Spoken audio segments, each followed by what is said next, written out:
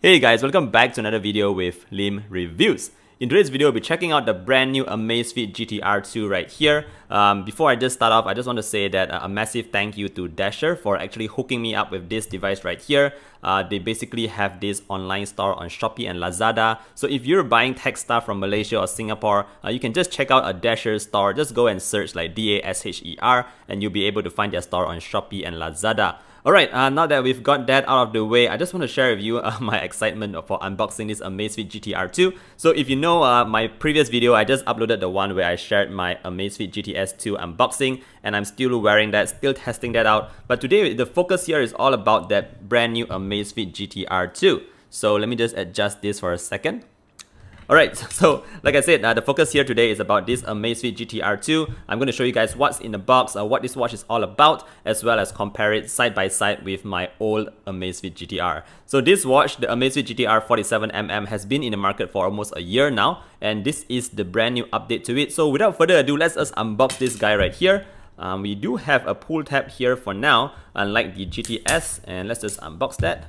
Okay, so that didn't go too well. I guess we just gotta rip this off and all right okay with this out of the way um, we have the box right here. So let me just go through a couple of items that was uh, the key features that is on this watch. So of course we still have the AMOLED display. Uh, it supports the always on display throughout the entire day. We also have blood uh, your SpO2 tracking. So that's a new feature that wasn't available in the previous Amazfit watches. Apart from that we also still have a pretty good battery life. I'll talk more about that later as well and here we do have our REM uh, sleep tracking. So basically this means your rapid eye movements. It will track those at night when you sleep. And of course, we also get our heart rate tracking.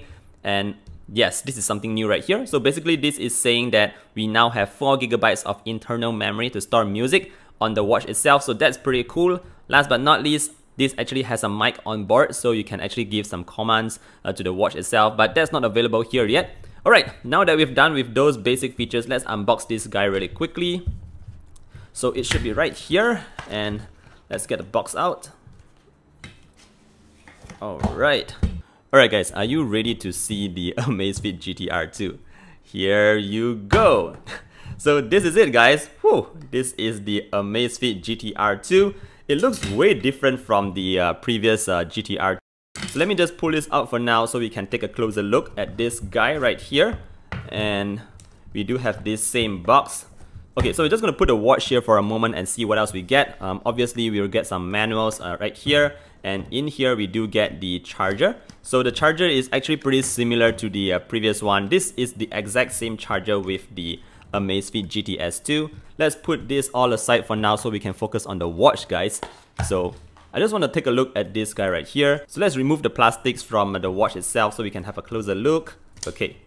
Woo! We've got that out of the way, guys. So here we have the Amazfit GTR2. Okay, on first on first unboxing uh, and holding this device, it feels way lighter than the current Amazfit GTR. So the GTR2 feels a bit lighter. I'm not sure why. Maybe it's the materials being used. Uh, I would definitely have preferred a slightly, uh, maybe heftier weight to it so you get that slightly more premium feel. But that's just me. Of course, some of you guys might also argue that having a lightweight device on your wrist is also more comfortable, especially when you're going to wear this at night to track your sleeps. So that's definitely a, a, an up and down kind of thing. It really depends on your preference there. But this is the Amazfit GTR 2. Alright, so let's put it side by side. They both share the same size in terms of the display. I haven't set this up yet, but notice that the bezels are different. So on the existing one, the old one, the GTR one, for uh, it actually comes with this stainless steel kind of thing frame going on around the face. I kind of like it, but this new GTR 2, this looks very similar to the Mi Watch color, if you've actually seen that. But yeah, this is how it looks like. At the back, we still have this uh, matte-ish kind of uh, uh, surface which is very similar to the GTR1 but notice that we do have a couple of extra sensors at the back here and that's probably to track your SpO2 readings from your uh, from your wrist. Okay alright in terms of the bands itself I kind of prefer the old one guys. Like take a look at this. We have more kind of a, a shape here going on some textured back here on the GTR1 but on the GTR2 it's just very minimalist I would say. Everything is just plain flat and there's nothing too much going on with the GTR2 so in terms of design wise, I would say that they've really stripped down the design and make it very minimalistic. uh, very plain and simple. So it's either a love it or hate it kind of thing. I don't hate this design. I think it's pretty good as well. It's just something different from the existing GTR, but just to let you guys know, this is what you'll be getting with the Amazfit GTR 2. So right now I'm going to power on this guy right here so I can show you guys more on the interface, what's new with this watch, and a couple of features that you can expect to see from this device right here. Alright guys, so I've currently got my watch connected to my phone right here and this is an iPhone by the way that I'm connecting to. And before we start off, it's still loading up because I've just updated the software but I want to show you guys around the watch a bit more before we go into the software. So right here you can see that, let me just peel that out for now. Um, yeah, we can see that we do have a tiny mic here. So that is for actually answering calls as well as activating the voice assistant. And over here, we do get a pair of speakers. So just like the Amazfit GTS 2, this watch also has speakers so you can store your songs in there and you can actually play your songs from the watch itself. So I'm not sure how many of you guys are actually going to do that, but the speakers are there. So just know that you can do that kind of thing if you're into that kind of stuff. Alright, so moving on, let me zoom in a bit more to the watch. You can just see the dials here. This is how it looks like. We do have a top button here that is highlighted with a red ring, so that's probably a quick shortcut button. Uh, on the back, yeah, we do have these latches here. So this is this is how the GTR2 looks like in detail.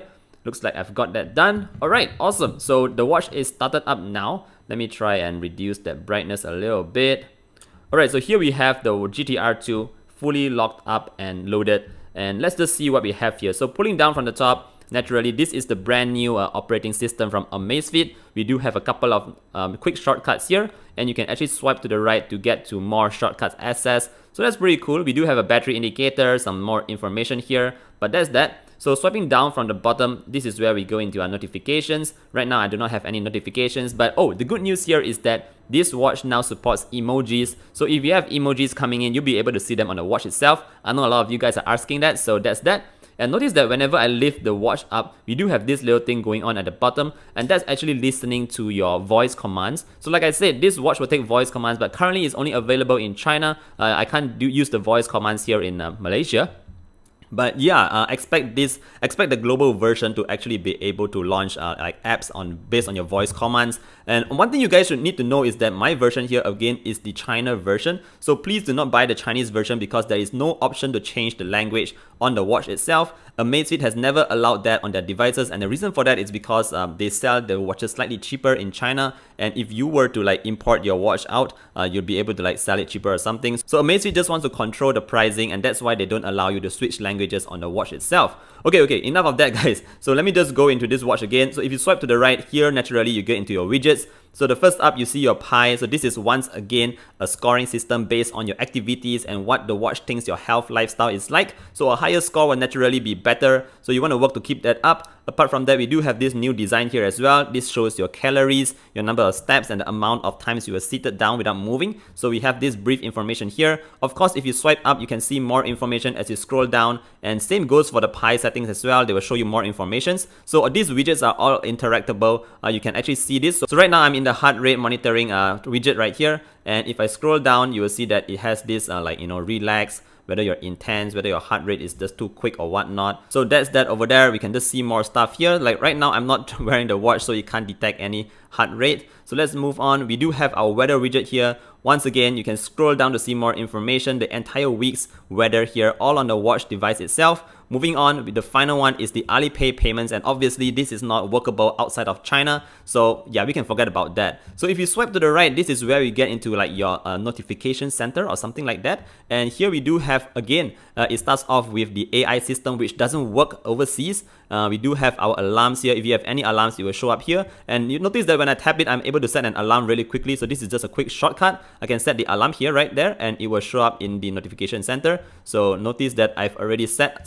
7 a.m. Uh, I'm just going to turn that off because I don't want to wake up at 7. Uh, moving down here, we do get our weather as well. So uh, a lot of information here. This is like I said, the notification center uh, where it just shows an overview of everything uh, that you need to know. So the last one here is the one of your SPO2 readings. I haven't tried that out yet, so it will show up here. Uh, let's talk about that later. Alright, so apart from that, notice that if I hit the top button here, this goes into the list of apps. But if I hit the bottom one, this is a shortcut key that brings you into the fitness um, app straight away. So here you can choose your kinds of activities that you want to do. It tracks a lot of activities, guys. So I'm just going to go through each one really quickly. We have our outdoor running, we have our walking, cycling, a treadmill. Uh, of course, we do have our indoor uh, cycling, uh, swimming and of course uh, mountain climbing, uh, trekking and, and this is just like a couple of basic activities that you can expect to use on, on this kind of watch. So it tracks all these activities but definitely I'll be trying the watch out, uh, see how accurate it is uh, in terms of its GPS. This comes with a built-in GPS. So in my full review I'll be talking more about the performance of the GPS, how well it tracks your steps, your heart rate and all that. But right now this is just a quick overview.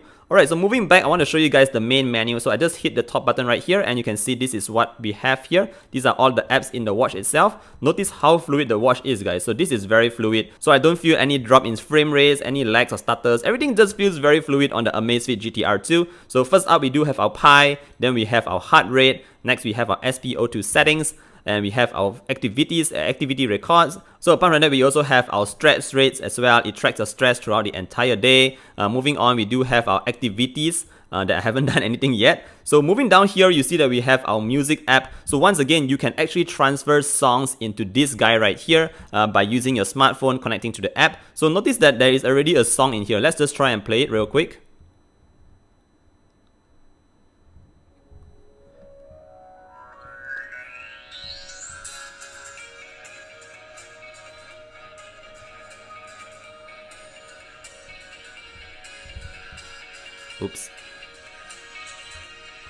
Alright, so there you go. That's just roughly how it sounds like on the Amazfit GTR 2. Uh, definitely sounds pretty alright and very good for a watch with this size. Okay, so moving back, let's see what else we have here. So obviously we do still have our weather widget, our alarms, our cards, uh, our, little tools. So the tools includes a compass, uh, an air pressure system, uh, countdown, as well as uh, just some other stuff here, guys. Some very basic stuff. So this is how it looks like, guys. Um, very, very nice watch here. I would say that it really does reminds me of the uh, Mi Watch color, and that's not necessarily a bad thing, but yeah. Okay, so now I want to show you guys a couple of new watch faces that we do have in the watch here. So we do have, uh, oh, this looks pretty nice.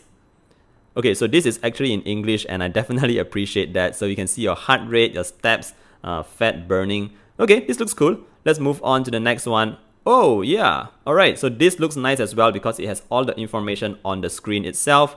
I definitely appreciate the fact that we can also customize this stuff here, you know, just to put in what kind of a widget you want uh, for these little icons right here. Uh, you can just move that, swipe it up to show different stuff. So let's go with the weather right now. So this is all the information you can have at just one glance. So pretty happy with the new watch faces. Definitely very much better than my existing Amazfit GTR. So definitely you can go to the app itself and find more watch faces here. But I think that's pretty much it for my first impressions and first look at the Amazfit GTR 2. Um, I'll definitely be coming up with a full review in about one week or two because right now I'm still testing the Amazfit GTS 2. Uh, let me just put this on my wrist really quickly so you guys can have a look of how this watch looks like on my wrist. Okay, very quickly, let's get that in and locked. Alright guys, so this is how it looks like on my wrist right here. Alright, so let me know down in the comment section below if you prefer the new look of the Amazfit GTR or if you prefer the old one like here. Alright, I think that's pretty much it guys. Uh, thank you so much for watching this video. If you have any questions, feel free to let me know down in the comment section below. Uh, once again, if there's anything that you want me to test out specifically, let me know as well. Hit that like button if you found this video useful and I'll see you guys in the next one. Bye!